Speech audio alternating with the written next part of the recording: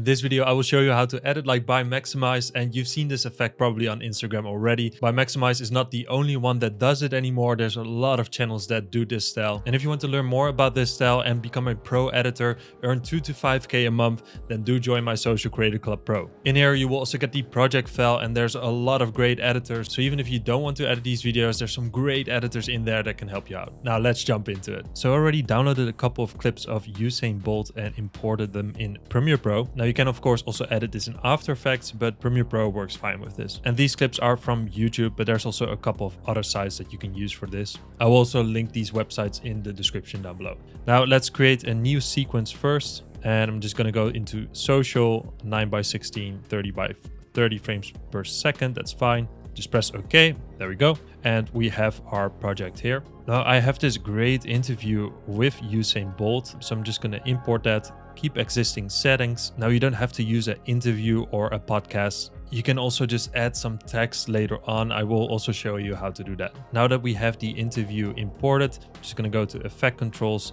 and I'm gonna scale this up a bit and let's center this. We might use this later on. Now for the captions, I'm just going to show you the automatic way and also in my opinion the easiest way to do this. So in Premiere Pro you can just go to window text, then go to transcript and then transcribe this video. It will take a couple of seconds and then we have all the text and all the captions. Now we can just go to captions, create captions from transcript, open up the captioning preferences and make sure the lines is set to single and the minimum duration is set to the lowest possible and the maximum length in characters is also set to the lowest possible. Then click on create captions and as you can see we now will have all these captions and this is really cool.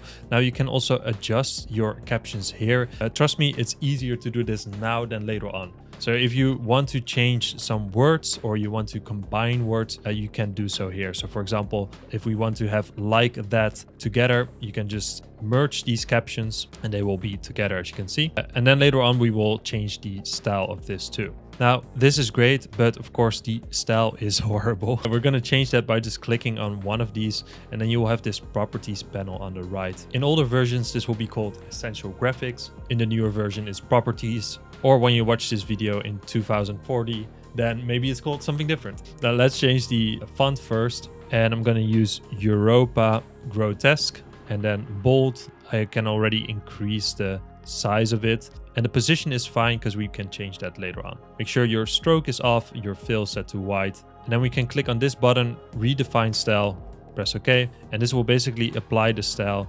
to all of our captions. Now that's great. And the only thing we now have to do is select all of our captions and then go to graphics and titles, upgrade caption to graphic.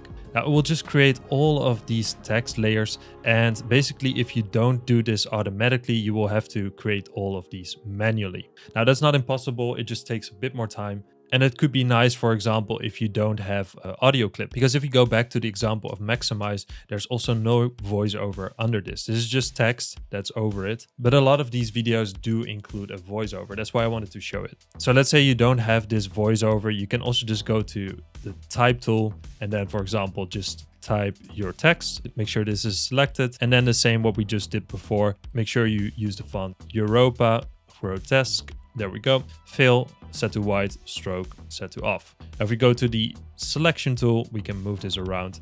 And as you can see, it's uh, really similar, except now you have to do this all manually. Now, one thing I see a lot is where the text basically pops up on the screen here and there. And the best way to do this is to just make sure that this is selected, make sure your selection tool is selected. And we can just move this around. Then we're gonna move this on the video layer too. Let's drag this out then go to the next one. Then we have this. We can also move this. Then make sure the next word retiring is on the next layer. We're also going to do that with early. And then we're just going to drag this out just like this. So these text layers are stacking. Now we can just go to the next word. Again, moving this around. We can even make it a bit more creative. Maybe we'll put it here, change the its, select the its, and then the word early. Let's move this maybe here. So now it pops up, it's okay retiring early, uh, just like this. Now we can go to the effect controls and then go to opacity and change the blend mode to difference. And this will have this really cool effect as you can see. You can also use overlay but this is really cool as you can see maybe something like this and now it just pops in if you want to do a bit of a different technique we can also select all of these in points by holding shift then right clicking apply default transition this will basically add this cross dissolve and it will basically make it fade in now i think these cross dissolves are way too long so we can also select all of these cross dissolves again by holding shift and clicking on them then right click, set transition duration, and we can set this to maybe like five milliseconds. There we go. So now it fades in. As you can see, it's okay retiring early. Now another thing I've also seen is where the text blurs away. And we can do that by going to the effects panel and just adding a Gaussian blur. Double click while you have the layer selected then find the Gaussian blur here. And then we can set a keyframe by clicking on the stopwatch. Let's go to the end. And then we can keyframe it so it's really blurry as you can see and it will basically just blur you could also then add another cross dissolve but in my opinion this already works fine now speaking of gaussian blur anyway if we go back to the example as you can see this word dream isn't that sharp that's because there is also a small blur on this. Just to make it a bit more organic I would say less digital almost. So we can also just add a Gaussian blur to for example the word okay let's zoom in a bit so you can really see it. Go to effect controls while you have this layer selected. And then we can just increase the blurriness by a bit. Not too much literally maybe just like two or three. Let's see maybe three. And as you can see it will make it a bit more organic it's a small difference, but it looks really cool.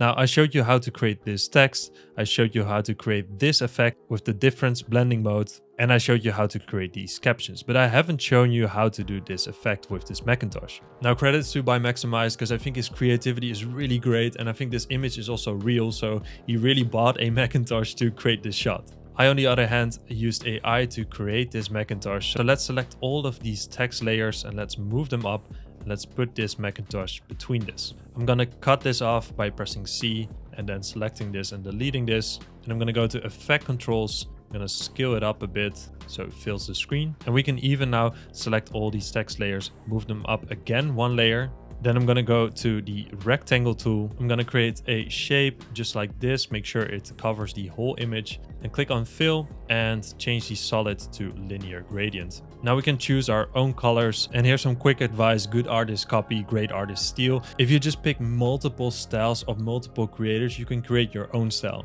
And that's the same with this. If you're going to use the same green colors, the same fonts, and basically create the exact same style as bymaximise, then you're just a copycat. So implement these skills in your own project, but always add something from yourself.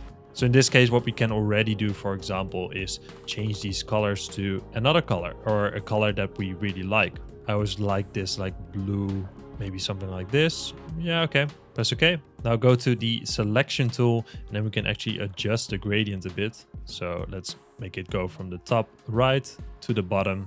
And then I'm just gonna dial the opacity down, maybe to something like 40%. You can also change this blending mode if you want to play around with that, but this should work.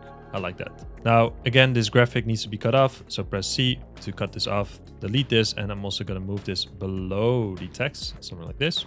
Go. And then again, select the text, move it up one more layer, and let's add a adjustment layer. So go to new item, adjustment layer, press OK. Let's drag this in between this, press C to cut this off. There we go. And we're to add a transform effect to this. So just search for transform then drag this transform on the adjustment layer, then keyframe the scale. Let's go to the last part here. Let's scale it up to something like this. So now it scales in, that's cool. Now as you can see, the Macintosh is not see-through yet. So we can just go to the Macintosh, then just click on the pen tool here in the effect controls uh, under opacity. And then I'm just gonna draw a really rough mask in the screen, something like this. Make sure the edges are rounded by clicking and holding your mouse down. There we go, there we go, there we go. Now make sure the inverted option is turned on and we've got our screen. Now the video below it is way too zoomed in. So we're gonna click on the video and I'm just gonna scale that down. And I'm just gonna cut this off first at this point and then gonna click on the video and I'm gonna scale this down by a lot. Let's zoom out a bit we can also click on motion to see the frame basically. It's also a bit easier to position it then and to scale it a bit, maybe moving it like this. There we go. And now what's cool is basically we have the text popping up. Now we just have to move this second part. So now we have the second part and let's maybe align this a bit better. And now for this text, I actually can center it. So it's like everybody keeps and then let's move this too. And again, we can change the opacity blending mode to difference, maybe move it a bit below so you can really see this effect. Move this down too. So everybody keeps. And then of course we can even uh, add some of this footage here of Usain Bolt running. So I can set an in point, out point, drag this in, bloop. Then of course go to effect controls and make sure that this is filling the screen. And then you get something like this. Again, if you want to become a pro editor, then do join the Social Creator Club Pro. Link is in the description down below. Then do leave a comment of what you want to see next. Of course, don't forget to subscribe. And then of course, thanks for watching and thanks for all the support. And I'll see you next time. Bye.